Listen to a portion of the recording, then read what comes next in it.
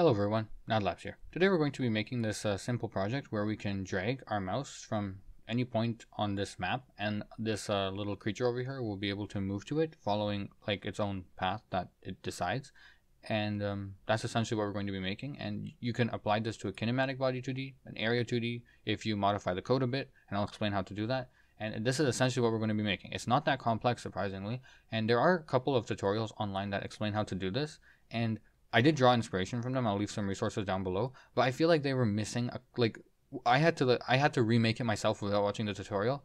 Um, but because I didn't understand like what they were saying, they gave me a really good starting point. But like I, I just felt like they were missing a couple of things that would make it harder for a beginner to understand, as I myself am a beginner as well. So I'm gonna hopefully fill in those gaps and um, let's just straight jump straight into it. Now the scene tree is kind of complex. I, I'm not gonna say it's complex because that scares a couple of people. I'm gonna say the scene tree is a little bit crowded. We have a game scene, which is our regular node 2D. We have a, a navigation 2D. We have a thing to move, and we have a line 2D.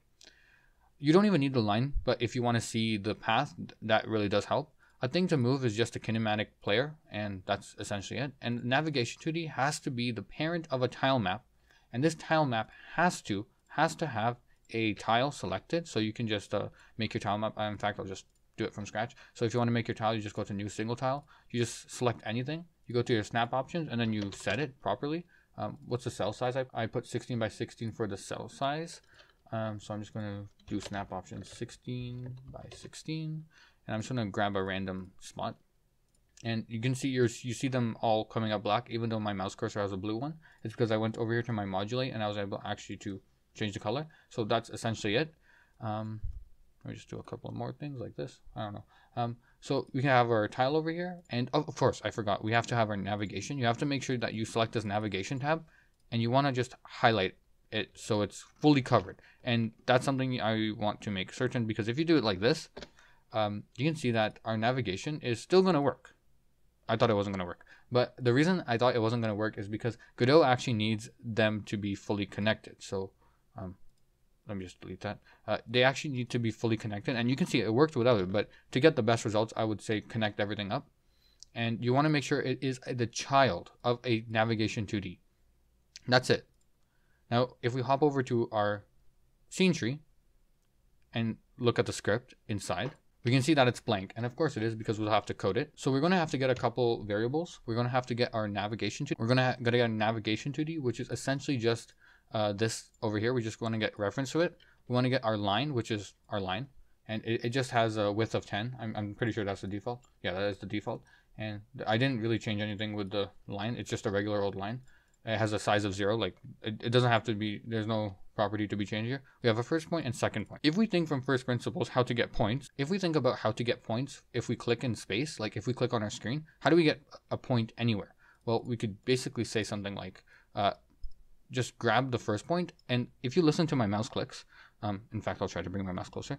If I click and then move the mouse, um, yeah, you can tell I'm moving it with my hand, and then let go, uh, you can see that we'll actually get something like like this. So if I click, so I'm gonna click and I'm gonna let go. You can see that um, we, we start off with our first point. Let me just make this way. Our first point and then our second point. And we can actually measure that because in Godot, there's something called input pressed and input just unpressed. Okay, it's not input just unpressed, it's input just release, but essentially it's the same idea. And what we're basically saying here is in our input just action pressed, we're going to click. Uh, the second we click, just pressed it. The second we just clicked it, we're going to set our first point equal to our get global mouse position and our line dot points. So our line's points or the array of points that this line has, we're going to set it equal to an empty array. And then when we let go of the mouse, we basically want to say a couple of things. We want to say that the second point is going to be where we release this click event. We're going to set our array path to, uh, we're going to make an, a variable array called our array path. And we're basically going to say navigation 2D, get us a simple path from first point to the second point, just pass in true. Uh, we'll see what happens if you pass in false. And set the line dot points equal to this array path. And if you want to, you can print out the array path. And when we run the scene, just those lines of code, you can see that we get a fully functioning setup uh, from point A to point B, and it figures everything out for us. We don't have to do anything.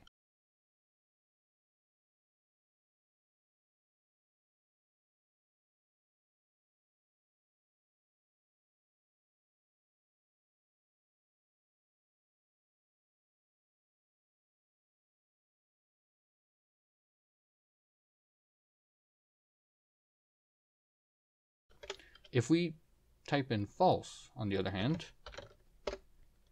F5, not F4, you can see that we get a we get a lot more stuff printed out because we're actually going as close as possible to the tile map, which is not something I, I, I liked it. I mean, it's pretty interesting if you want to do like the most efficient way possible, but I think what's more natural looking is if you type in true and if you control S and save the scene and run again, Godot will just automatically update, which is amazing. I, I love that feature. And you can see it just it just works. So we have the way that we, we already know the path. The path is clear, but how are we going to get this thing to move? This this thing to move? How are we going to get this thing to move to actually move along that path? Well, that's pretty simple. We already have the path. We just have to tell it to move across each point. So we can start off by getting a couple of variables in here. We can say we can say there's a path variable. So this is actually the same path. We just have to pass it into our player or this thing to move because we want it. We want the thing to move to actually know what the path is. We're also going to set an index to zero. And uh, over here in the script, that's actually how we're going to be setting those. Uh, we're going to be setting these variables.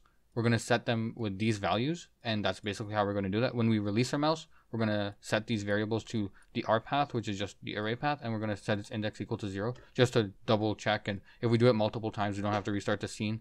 Or we can just set it to zero as soon as we let go. Because of course, we're going to be like, let's say this was one path, right? Because it is. And this is another path. We're basically, once we're done moving along this path, the index is whatever this indexed is like i don't know 15 16 17 i don't know. But this is the, like the last index. If we don't set it back to zero it will start again from like the 17th point which is somewhere around here and it will just move this much. Like that's not correct. We wanted to start it from we wanted to start over here. If you have any questions about that leave it in the comments because i don't know if i explained that to help you understand. If you didn't understand that's what the comment section is for. I will respond to it. And of course we're going to be setting our thing to move global position equal to the beginning point because we want to start where the path starts, right? We don't want to start in middle of nowhere. And um, so now we can hop over to our thing to move script. What we're basically going to be saying is every frame we're going to be checking because the physics process function checks something every frame. We're going to be checking if there's a path. If there is a path, let's make a velocity variable. And if the index that we're currently on is less than the path size minus one, the reason we have to do minus one is because uh, Godot gets the entire path and like it counts it from like one, two, three, four, but we want it to count from zero, one, two, three, four. And the only way we can do that is by subtracting 1 at the end. And if it is, if this condition is true, we're basically going to be saying the velocity is going to be equal to path index plus 1 minus path index. What does that even mean? If I hop over to paint, uh, let's say the path is something like this. Okay, I'm going to make like really sharp defined points. If this is our, let's say this is point 1 and this is point 2. Uh, oops, okay, point 2 by us saying path minus path, uh, path index plus one minus path index, that's basically saying, that's saying, just grab the, um, just subtract these two, uh, just subtract these two values, and we have our vector. And we can do vector maths with this, and we can actually set this to our velocity because this is going to be pointing in this direction.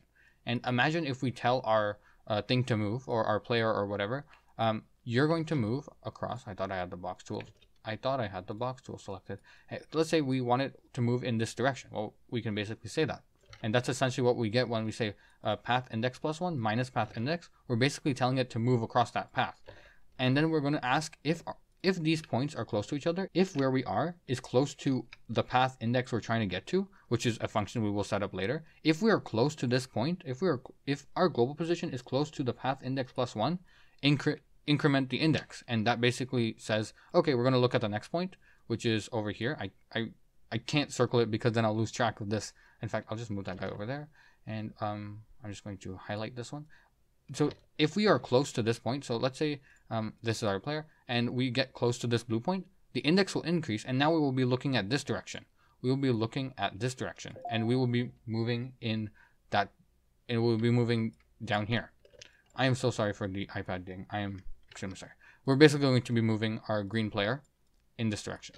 If that didn't make sense, please leave a comment. I'll try my best to explain. And that's essentially all we have to do. And if if we if this condition isn't true, which means we are done our entire path, just stop moving. And over here, you might be wondering that, yeah, okay, good job, NAD You're subtracting the index from the, the future index from the index we're currently on. But isn't that a really large vector? Like for example, over here, it wouldn't that make a really large vector? I thought I had the line tool selected. Yeah, that would make a really large vector. In fact, you're correct. That would that would be horrible for our game. I can't believe I didn't have the line tool selected. But essentially, this is going to be the vector. But we can normalize the vector and multiply it by a random constant, like 200 uh, I found works well for the kinematic body 2D when you're using move and slide, and that's essentially it. Now you might be wondering, what is this are you are these close to each other function? Like what is this? And why are you passing in A and B?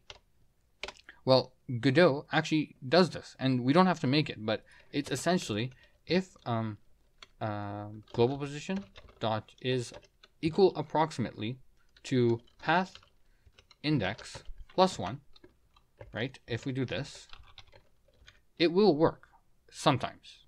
I found at least in my experimentation, like it sometimes works. Like I'm, I'm not sure like wh- what are the perfect conditions to get it to work, but it like it doesn't pick up the fact that these vectors are close to each other, or at least it doesn't pick it up to a degree that I would like it to. I would like it to be less sensitive. So that's why we have to make our own function.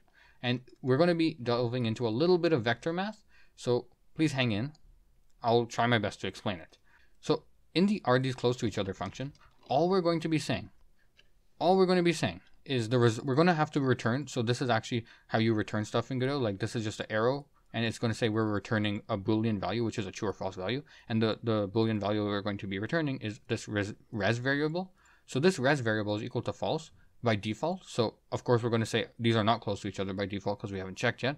We're going to set a margin variable and this can be your like sensitivity. So Godot's margin, I'm not sure what it is, but it's really small. So we can actually increase it. And then we're going to compute this scary line.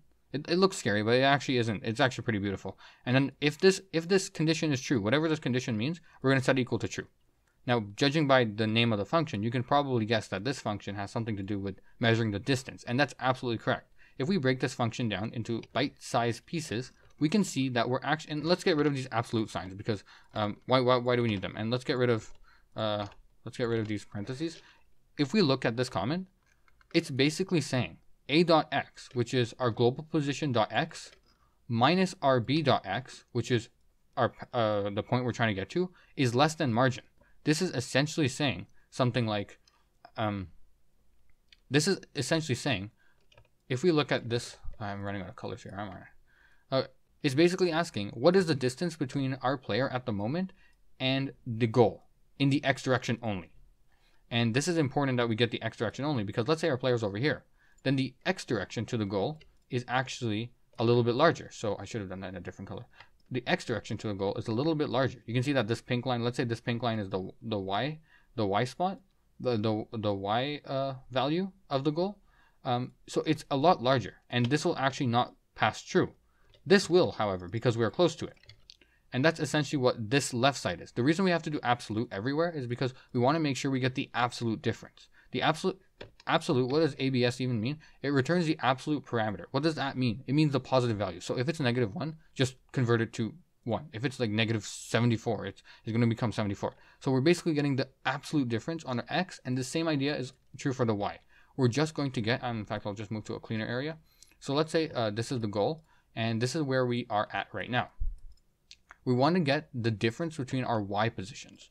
So the difference between our y position right now is is like, I don't know, like, let's say that's 50 pixels. The difference between our x position is around like 50 pixels. If the player is over here, right, let's say the player moves over here, then the difference between our x, our x, no, line tool, line tool, I'm pretty sure I clicked it, but the difference between our x direction is a lot larger. This is the x, this is the x, this is the y. Uh, the difference between our x is a lot larger than it was before, but the difference between our y is a lot smaller now. But if, let's say our player is over here, right? Um, same players, um, so I'm gonna make it a square. Let's say the player is over here. Then the x direction is a lot smaller now, or at least the x absolute difference is a lot smaller. The y absolute difference is a lot larger. And let's say the player is right over here. Well then, let me just zoom in. If the player is right over here, then the x absolute difference is really small, and the y absolute difference is really small as well. And I'm hoping you can see through the examples that this is how we are going to be calculating if we are near something. And now that when we run the scene, we can see that this Godot image or whatever we're trying to move will follow the path perfectly and stop once it's there. And the reason I said we have to set the index back to zero, like I said over here, the reason we have to do that is because if we don't, then, um, in fact, I'll just show you what happens if we don't. Um, you can see that uh, it doesn't move because it already thinks that's at the it's at the end. But if I go back and control S save, you can see that it'll start working again. And that's just a feature I really love in Godot. You could just save your script and everything will just start working again. Like if I if I type in print hello afterwards and I try again, hello will pop up. Like that's just amazing. I don't know. I find that really cool.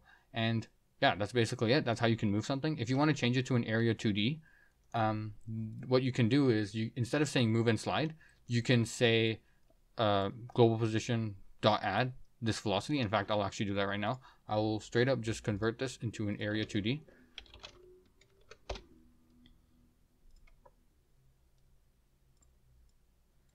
In fact, I'll do that right now. I'll just convert my entire script to an, to follow for an area 2D. And you can see that um, I can just do global position, global position, plus equals, and then velocity. Of course, I want to make this constant a lot smaller.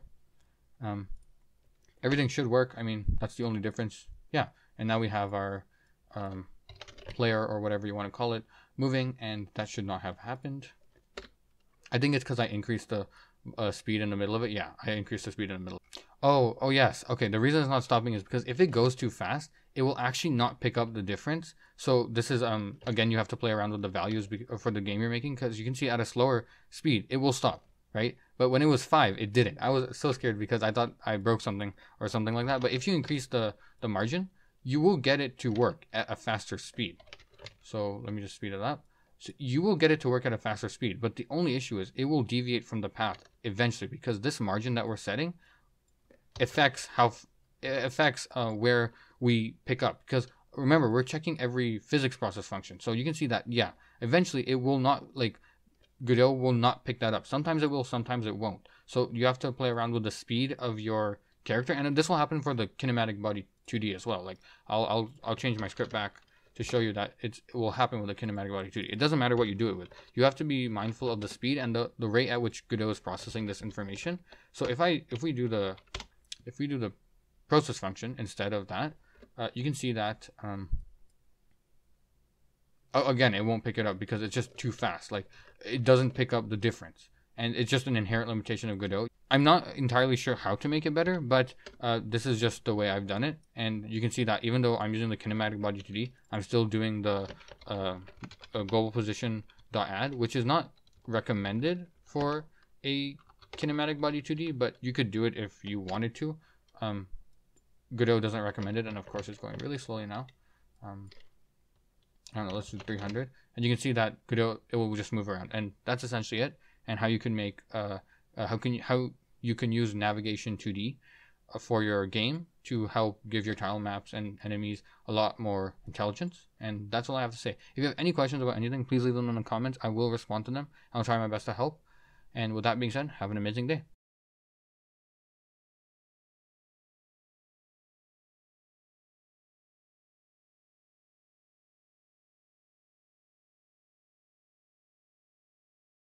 Or points on a line. Uh, sorry, this is from a previous tutorial.